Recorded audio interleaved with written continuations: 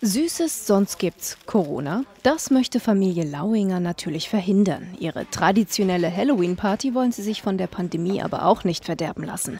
Schon Tage vor dem Fest, am 31. Oktober, steht deshalb das eigens entwickelte Hygienekonzept, inklusive Einbahnstraßensystem und kontaktfreier Süßigkeitenübergabe. Wir können da mit einer Schranke den Zutritt zu dem Süßigkeitennetz äh, kontrollieren. So kann jeder seinen Handschuh bzw. seine Händchen mit Süßigkeiten Weihnachten einzeln abholen.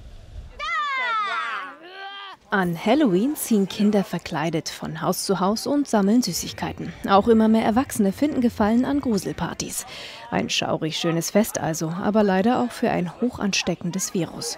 In Bayern hat Gesundheitsministerin Melanie Hummel von der CSU bereits dazu aufgerufen, dieses Jahr auf klassische Halloween-Bräuche zu verzichten. Was also tun, wenn man auch in Zeiten von Corona auf seine Gruselkosten kommen möchte? Experten haben da leider eine klare Meinung, zumindest was die traditionelle Süßigkeitenjagd angeht. In der Regel sind das ja Gruppen von äh, vier, fünf äh, bis zu zehn Kindern, die dann von Haustür zu Haustür ziehen, da wieder auf Menschen treffen.